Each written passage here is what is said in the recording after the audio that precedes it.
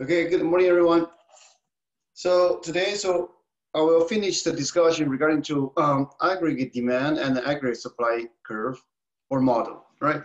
So just remind you, next Monday, we will have our third midterm.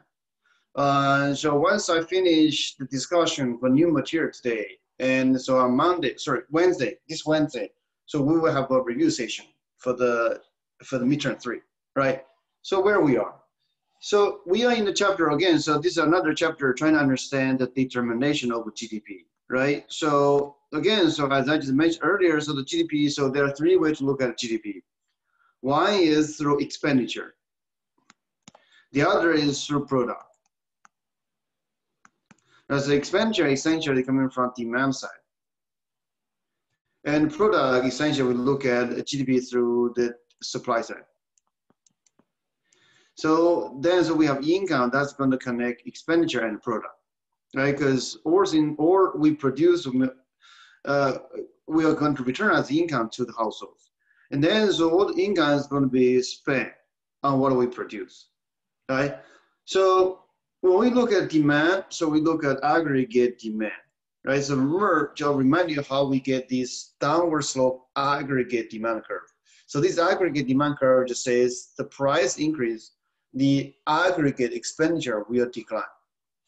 Right, so that's coming from wealth effect and interest rate effect. Right, so the aggregate demand. And then later we look at aggregate supply, but we start with short run aggregate supply. So what is aggregate? Why is aggregate supply is upward slope in the short run, all right? Or in other words, why price increase, the aggregate supply increase why the firm want to expand, why the firm want to produce more in the short run if price increase. So this is coming from sticky wage. Right? So if they cross each other and then so we are and we are enters a equilibrium. So this is a short run equilibrium. Right, so today I'm going to explain to you what is long run equilibrium. Right, so in the short run, so the short run aggregate supply and aggregate demand is going to decide how the equilibrium will look like, right? So that's going to give you equilibrium price and equilibrium quantity, right? So this is um, sh a short run equilibrium. And then we have looked at four possible shocks to the economy, right? So I can write down here. So you have supply shock, you have demand shock, positive supply shock, negative uh, supply shock, positive demand shock, negative demand shock. Okay, just remind yourself so how those is going to affect price. Here's price in equilibrium. And uh, quantity, quantity in equilibrium. Right? How these four different type of shock is going to affect our equilibrium price and equilibrium quantity. Right? So essentially, if the supply shock, the impact on the price and the quantity will be opposite.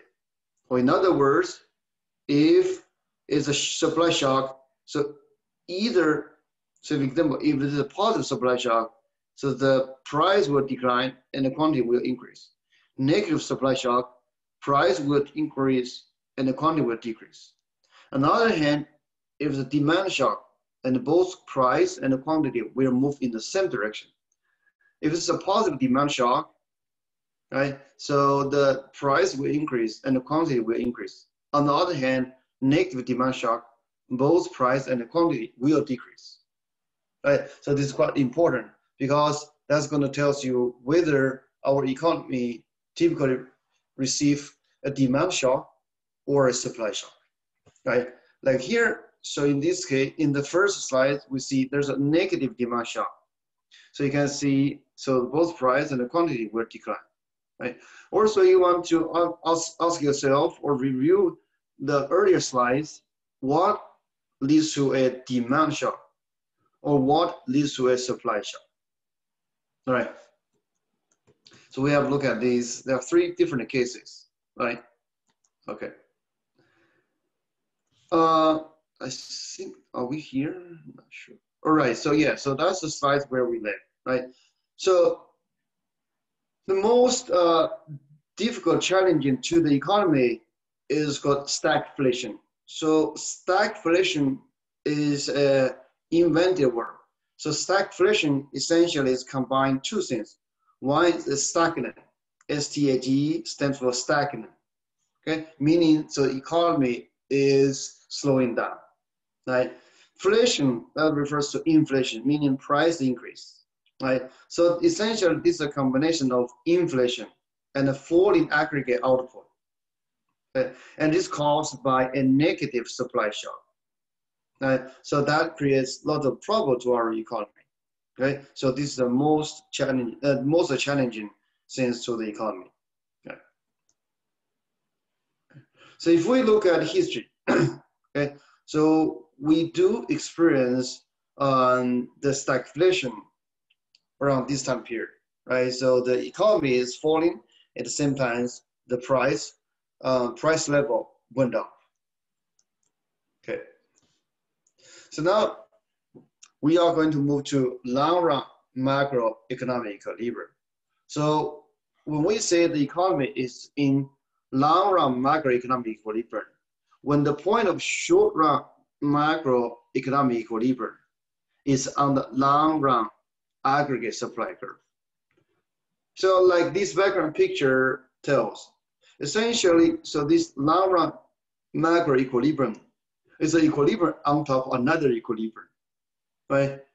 So when I say equilibrium on top of another equilibrium, essentially just we need the short run macro equilibrium is on top of long run aggregate supply curve.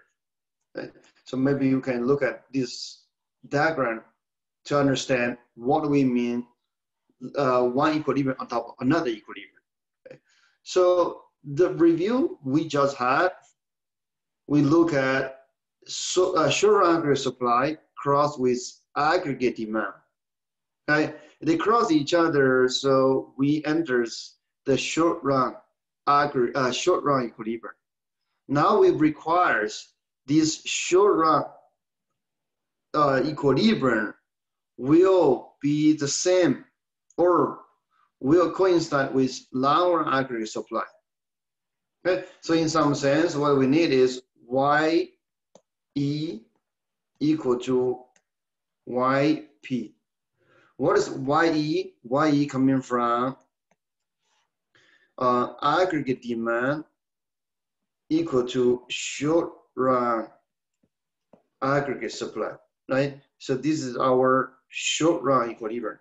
So the short run equilibrium gives us PE and YE. So now in the long run equilibrium, we want this YE coming from this short run equilibrium equal to YP. What is YP?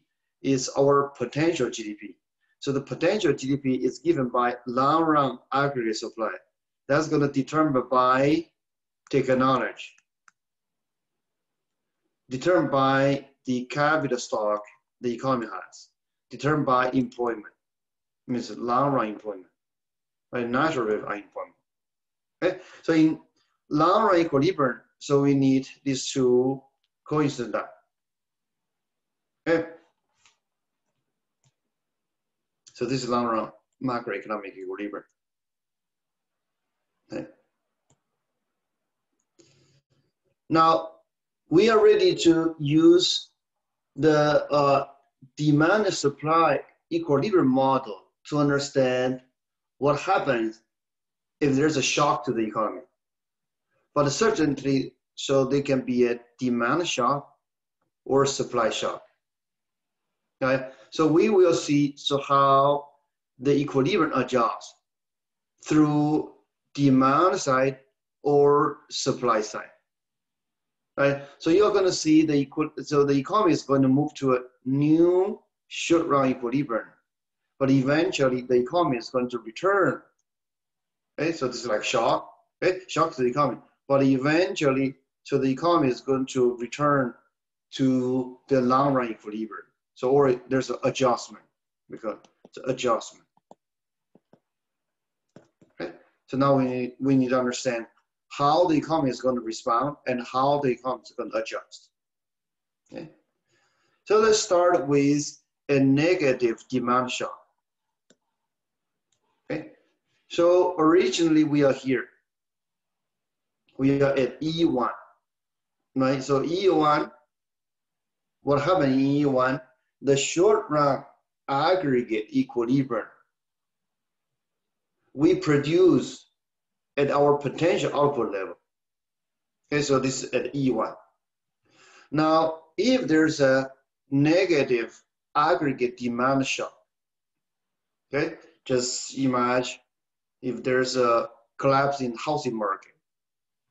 Okay? If there's an expectation, so the, the economy is going to slowing down, right? And then the aggregate demand will decline. Okay? So this decline in aggregate demand is going to be represented by a left side shift of the aggregate demand curve. Right? So now immediately the economy is going to enter the new short run equilibrium of E2. Okay? So compare with E1, so what are we seeing? So we are going to see lower price, price decline. And Y is going to decline as well. So we produce less than our potentially uh, can produce. Right? So this is negative demand shock. Right? So both is going to decline. And so if we are hit by a negative demand shock, okay, and so we produce different from what we potentially can produce. And we call this gap a recessionary gap. So this called recessionary gap. Essentially, it is because of falling in output. Okay. And in some sense, so because of this recessionary gap, you're gonna see in the short run, the inflation rate will be high, right? or there is a higher, sorry, not inflation, unemployment. So in the short run, due to this negative demand shock. So we will see a high unemployment. Okay, so this is what happened in short run. Now, similarly, we can look at what happened if there's a positive demand shock. Okay, so now the positive demand shock will push the aggregate demand curve to the right. Okay, okay, so the reason why we may have a positive demand shock could be a housing market boom, right? So a negative demand shock could be housing market collapse. Okay? Now, instead of collapse, we have a housing market boom.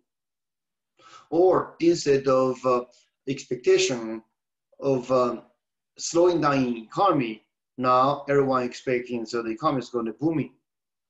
Okay? And then so consumer confidence is very strong and everyone want to increase their spending. So the aggregate demand will move to the right hand side. So now we are going to change from E1 to E2, right? So we enter a new equilibrium. In this new equilibrium, what are we seeing? So we produce more than we potentially can produce. Price is higher than the original long run equilibrium, right? And so we call this an inflationary gap. Okay, so this is compared with recessionary gap. Okay, so this is called inflationary gap, largely because the price is increasing. Right? So at the same time, so this inflationary gap or this positive demand shock has, impl has implications on labor market. Now we produce more than we potentially can, can produce. So that just means the unemployment rate is low. Okay, so in the short run, the unemployment rate will be very low due to this positive shock that generate an inflationary gap. Okay, so this is the second case. Now we can summarize what we discussed. Recessionary gap caused by, typically is caused by a negative demand shock. Right? So now aggregate output is below potential output. On the other hand, inflationary gap, typically is caused by a positive demand shock. Now the aggregate output is above potential output. Eh, what is output gap? It's the percentage difference between actual output versus potential output. Right? So when there's a recessionary gap, it means the actual output is below we potentially can produce, and output gap is going to be negative or negative output gap. On the other hand, if there's inflationary gap, and then we produce more than we potentially can produce, so you have a positive output gap. So the output gap is defined by or is calculated by this formula. Okay, so on the numerator is the difference between we actually produce versus we potentially can produce. In the denominator is our potential output. All right, so that's going to give us the output gap. All right, so now the question is, what will happen next? So this is after a demand shock, as we have seen just a few uh, slides ago, right? So if it's a positive demand shock, and then you can see we have inflationary gap. If it's a negative demand shock, we have recessionary gap. Now we are interested to see what happens next. Okay, so the answer to the, these questions, what happened next? If, we, if we understand this, so that's going to have important implication for policymakers. So the policymakers, basically the government, the Congress, so they can come up accordingly the appropriate policy tools or policy response to help the economy. Right? All right. So as we are going to see next, so in general, the economy will adjust, will correct itself in the long run. Right? Okay. But long run, as Keynes famous say, in the long run, we are all dead. Right? So now we are going to focus on short run adjustment instead of long run. Okay, so that's what we are going to do next.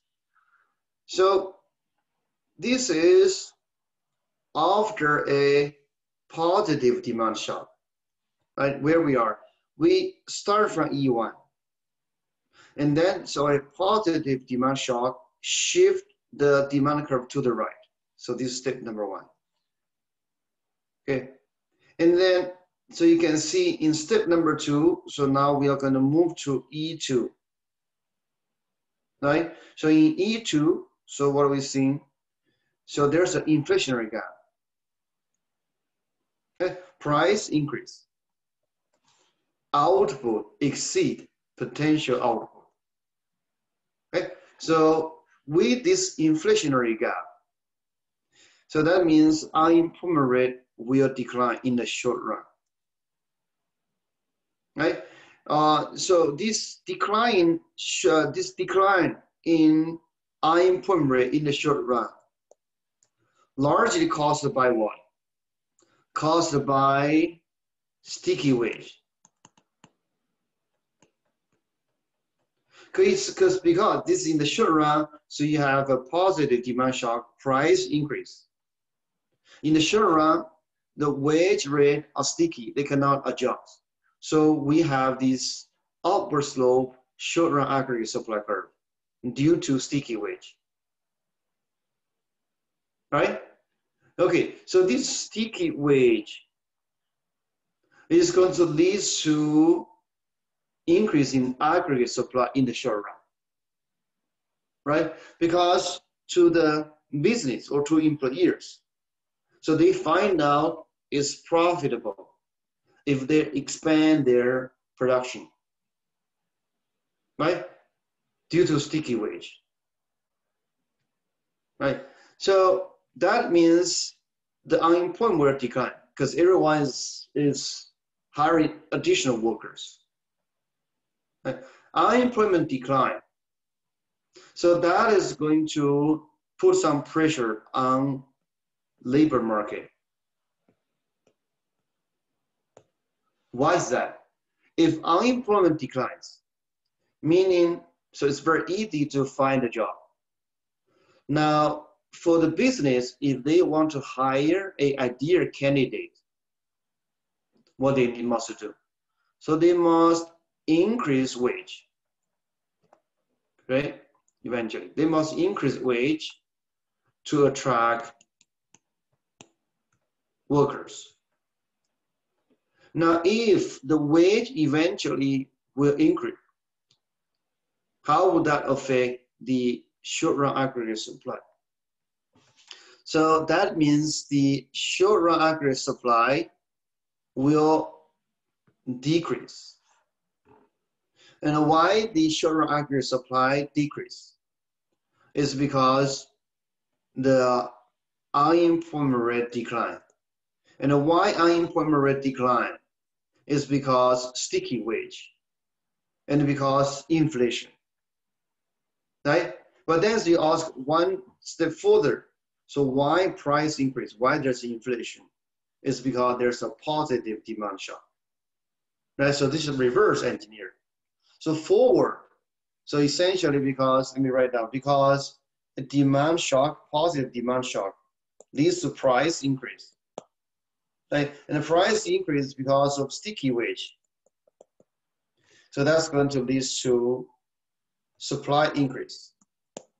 Unemployment is going to decline. So unemployment decline, that's going to pro, um, put some pressure on the labor market, right? Because that, that implies becomes difficult to find workers. So that leads to eventually that's going to lead to wage increase. So wage increase that's going to eventually lead to aggregate supply will decline. So eventually we move from E2 to E, E3, right? So once we are in E3, you find out we are in a long run equilibrium. But now if we compare this new long run equilibrium with our original starting point. The only difference is price. Right? Because we we return to our potential GDP. But the price increased from P1 to P3. So this what would happen after a positive demand shock. Okay. On the other hand, so we can look at what happens if there's a negative demand shock. Okay? So the story will be exactly opposite to what we just discussed, right? So initially we are at E1. Now due to a negative demand shock, the demand curve shifts to the left. Right? So that's going to cross the aggregate supply curve, the short run aggregate supply curve at E2. Okay, eh? now you can see Y decline and the P decline. Eh? Okay, okay, similarly due to the sticky wage, so the decline in price implies implies business will reduce hiring. Okay, uh, so now the business reduce hiring so that just means unemployment rate will increase. Right? So this, this is caused by this recessionary gap.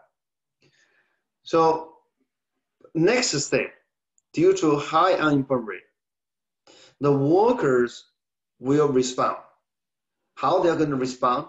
They're going to respond by taking jobs at a lower wage. This is because everybody understand it's difficult to find a job. So now as a worker, I'm willing to work for a lower wage. Otherwise, I will have zero wage, right? So lower wage is better than nothing. So that leads to the wage rate decline. So a lower wage rate is a positive news to supply side. So that is going to lead to the aggregate supply. Again, this is short run aggregate supply to shift to the right hand side. Or in other words, so that's going to have a increase in aggregate supply. Now you can see the economy is going to adjust from E2 to E3. So in E3, we reach the long run equilibrium again. In the sense, the economy is going to produce at the potential output level, right? So we can compare E3 with E1. So this is what the economy will look like after a negative demand shock. And we find out the only difference is price. Now the price will decline or drop from P1 to P3. Right? So this is compared with a positive demand shock. After a positive demand shock, after the economy adjusts itself, you can see, you can see, so with a positive demand shock, the price will increase. But with a negative demand shock, the price will decline. Right? So this is how the economy is going to respond. Okay. Now, here is a discussion. So this asks you with a partner answering the following questions.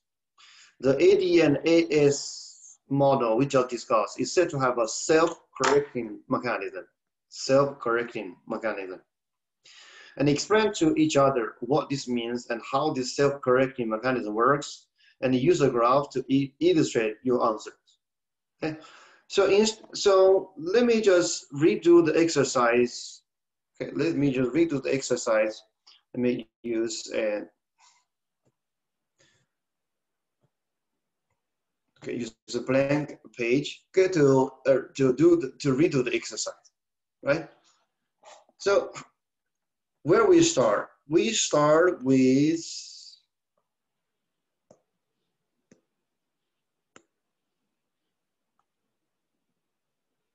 So this is short run aggregate supply, aggregate demand. This is long run aggregate supply.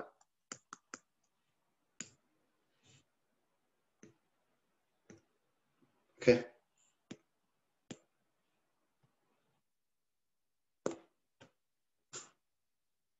So let's say, for example, if there is a positive demand. Positive demand. And then, so we are going to see, let's use different color to highlight. Let's use red one. Okay.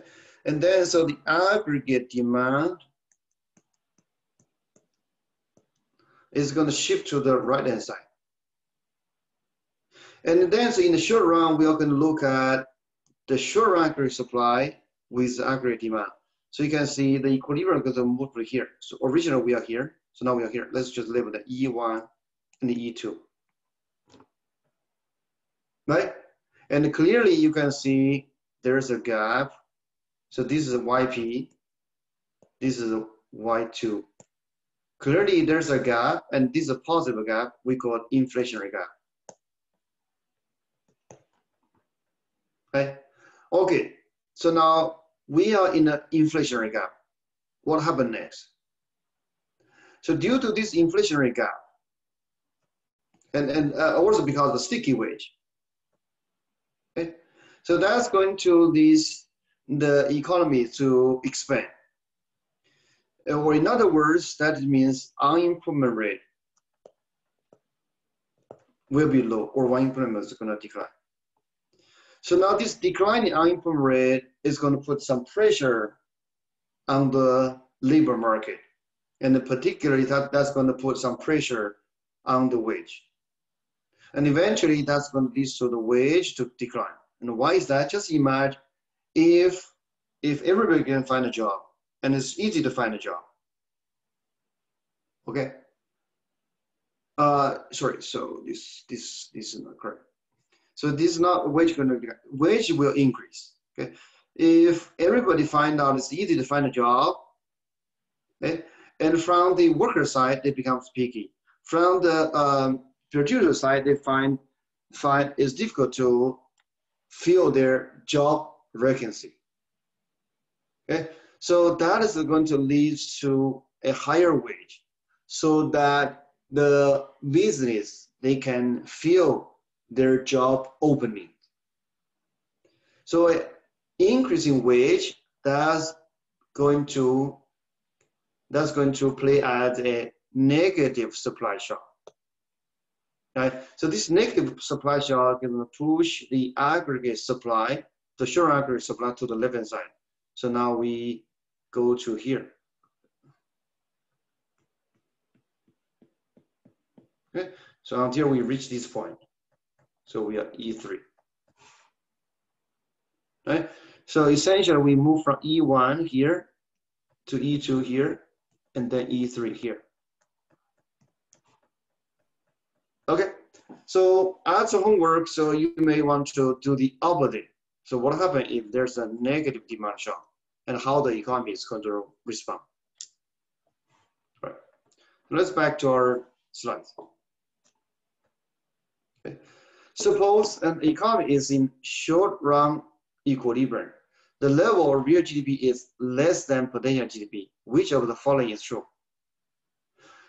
It, because we produce less than we potentially produce. That means that means we have a recessionary gap. Okay, and typically we we say so the problem of our economy is caused by demand shock, right? So no, the reason why we say that is because we look at four possible shocks to the economy.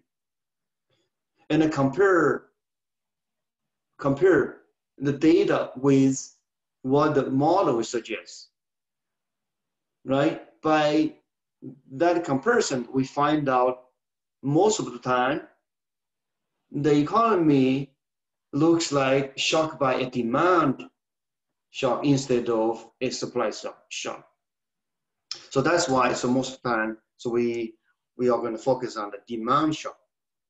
Now, if we have seen a recessionary gap, and also because of demand shock, this must be a negative demand shock. Okay, so this is based on what we just learned. So now let's see, so which option is correct? Let's go one by one. A, in the long run, nominal wage will fall and the SA, SRAS curve will shift left restoring the economy to potential output. Okay, because we are in a recessionary gap. Okay? So in a recessionary gap, meaning unemployment rate is high. Right? Unemployment is high. Unemployment rate is high, and eventually what will happen to the wage? The wage eventually will drop. And why the wage will drop? Because there are people who cannot find jobs. So they are willing to work for a lower wage right? So the wage will drop and then the short run aggregate supply will shift to right hand side or increase, right? So that's going to restore in the economy. So the first one, the only incorrect part is this, right? So wage will fall, that's correct. But the short run aggregate supply curve will shift to right. Okay? So the second option is correct. Now let's look at another one. Suppose short run equilibrium real GDP for an economy is greater than potential GDP. So that means we are in an inflationary gap. Again, so we consider demand shock. So this means this is a positive demand shock.